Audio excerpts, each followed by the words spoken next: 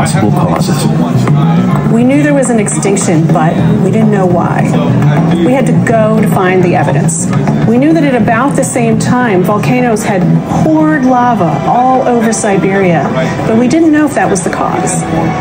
252 million years ago, Siberia was the site of massive fissures in the Earth's crust. Lava oozed out of these cracks for tens of thousands of years. We needed to know that the timing was right. We measured the ages of these rocks, and what we found out was that the eruptions began, and then the extinction happened, and then the eruptions ended. And then we realized that it was these toxic chemicals released into the atmosphere that caused the extinction. And they're the same toxic chemicals that humankind is releasing into the atmosphere today. Just as today in the Permian changes